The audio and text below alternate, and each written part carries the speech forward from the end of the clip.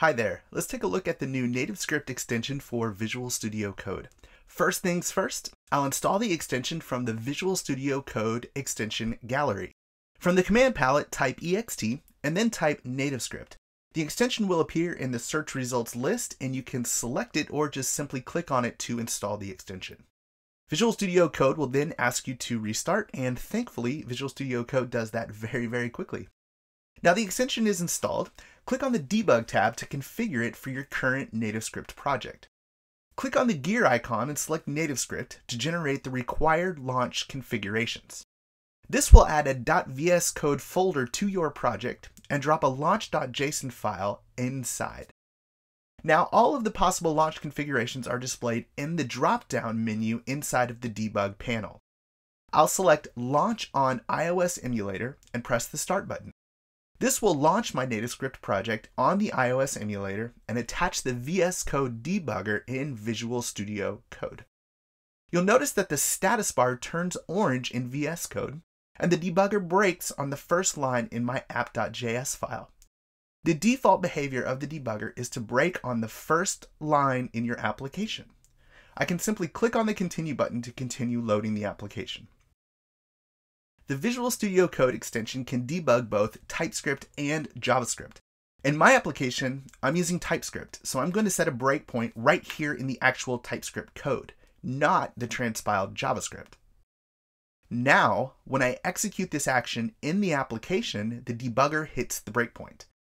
In the debug panel, I can now inspect the whole application and all of the variables within the currently visible scope. I can add a watch to any specific variables just by clicking on them with right click. I can also add an expression, also with a right click.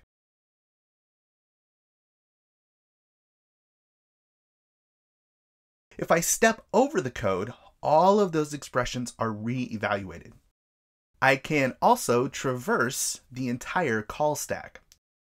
All console log statements from the application will appear in the debug console window.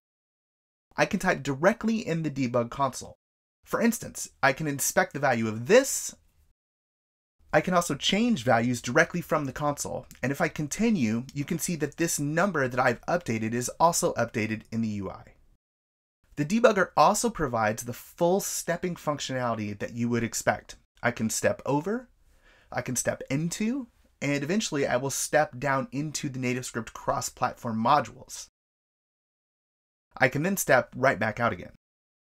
If I press the stop button, the VS Code debugger is detached from the application, but the application is still running in the emulator. The breakpoints are now no longer hit.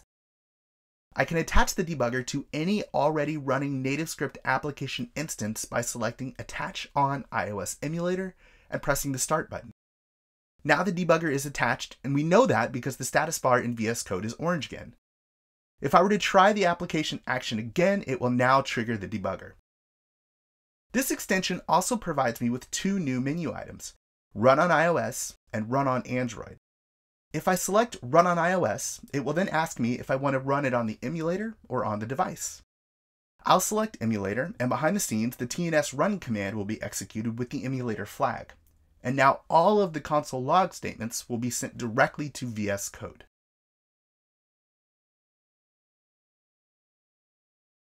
In the future, we plan to add a lot more commands to this window, such as LiveSync, and some testing commands that would enable you to run all unit tests from a single menu option. That's the recently released NativeScript extension for VS Code, and you can get it today directly from the VS Code extension gallery.